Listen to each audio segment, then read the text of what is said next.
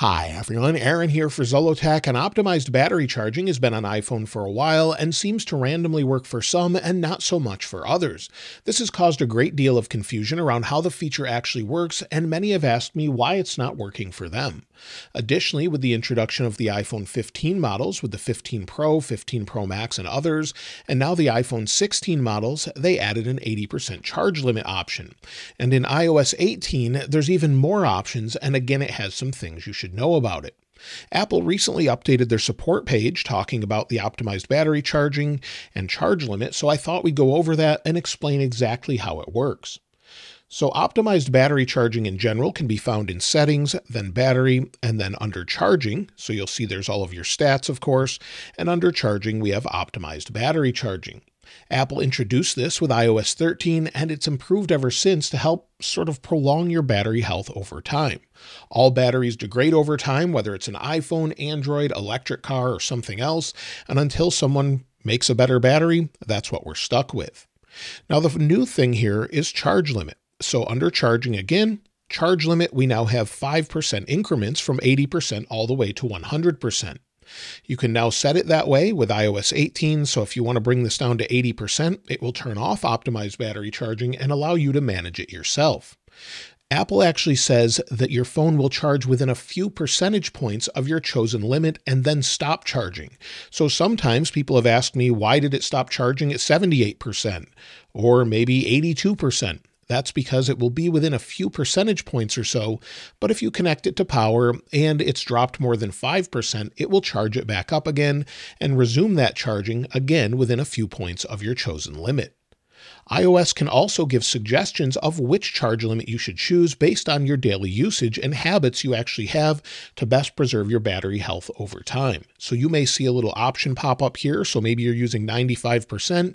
It could suggest it seems you have enough battery throughout the day, maybe bring it down to 80% to get the best battery health over time. So again, based on your charge limits, it could suggest something different than what you're using, but if it's got it right, it won't show any suggestion at all. Also, if you bring that charge limit up to 100%, it will say allow it until tomorrow. You can set the limit to 100% or cancel. I'll set it to 100% and then optimized battery charging automatically enables.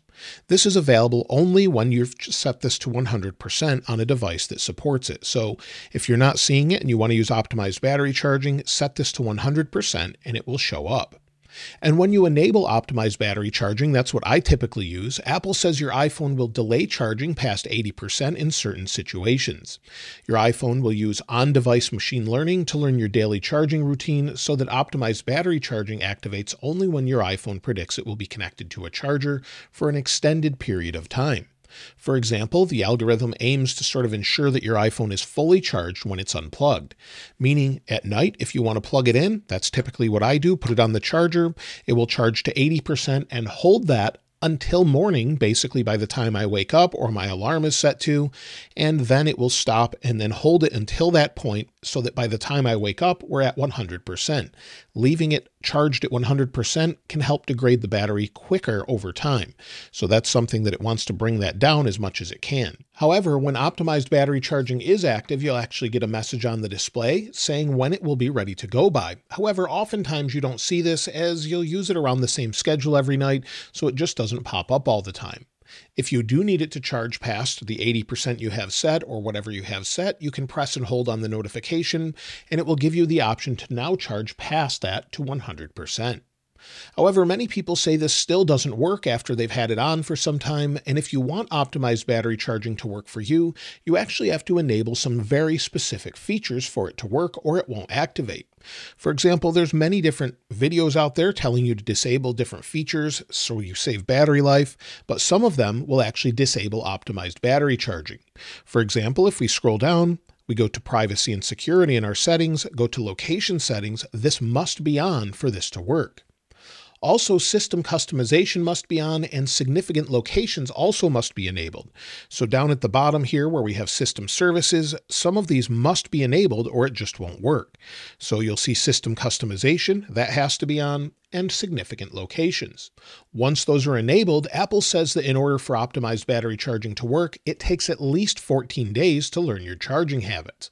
It won't engage or turn on before that. So your iPhone will need to experience at least nine charges of five hours or more in a given location for optimized battery charging to engage.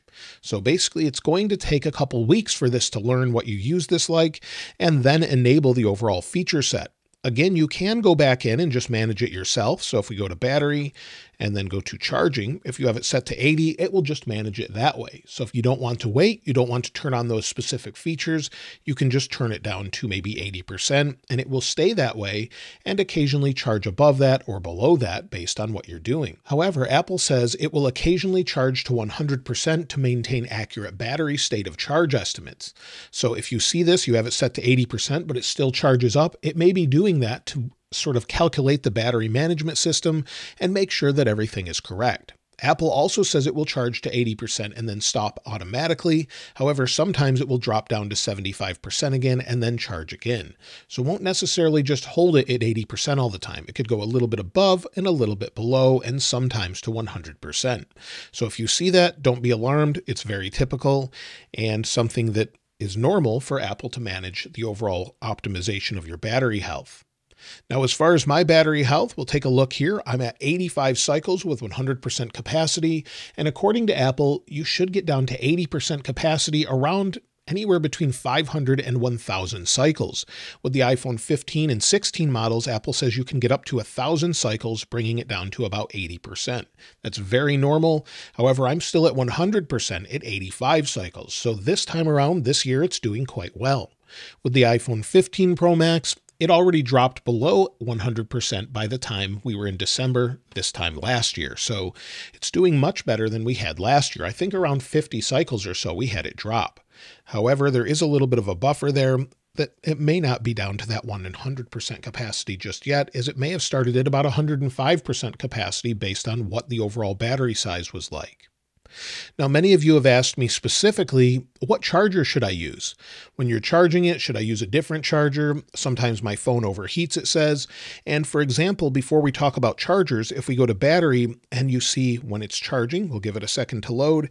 If we go into different days and maybe we see that it's charging and it stops charging, basically you have an orange color here, it stops it because of heat if you're in a hot environment, you have a case on your phone, it's very hot outside, or you're charging wirelessly or anything else, it will actually pause this if the temperature gets too high. There's temperature sensors within the phone, within the MagSafe adapter, and it will actually pause the overall charging, bring the temperature down, and then continue to charge again.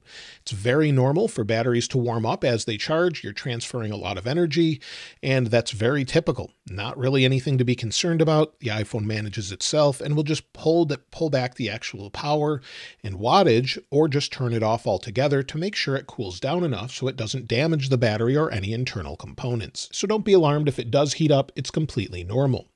As far as what chargers to use, well, I typically use MagSafe certified chargers. However, you can use third party chargers such as this one here, or anything pretty much, as long as it's actually working. Sometimes you could get a message that says it's not supported, and if that's the case, well, then you just can't use it. The iPhone regulates the power into the battery, not the charger. So if you plug in a 100 watt MacBook charger, it will still only charge at a maximum rate of around 28 watts or so. So just keep that in mind. You can plug in just about any charger, and if it's too much power, the iPhone will just pull that power back. If it can't use the charger altogether, together, it will let you know. But for the most case, I typically use Belkin chargers, I've used Anker chargers, I've used ESR chargers. All of them work just fine with no issues whatsoever. So EcoFlow battery chargers, everything seems to work really well. And again, if it doesn't work properly, it will let you know. So don't be concerned as many of these third-party chargers also have temperature sensors in them as well, so they'll pull back the power if they need to. So hopefully that helps you get a better understanding of overall battery optimization, the newer charge limit, the new charge limit changes, and how it works overall with your iPhone. If you have any additional questions, I'd love to hear from you in the comments below. And of course, I'll link this wallpaper in the description like I normally do. If you haven't subscribed already, though, please subscribe. And if you enjoyed the video, please give it a like. As always, thanks for watching. This is Aaron. I'll see you next time.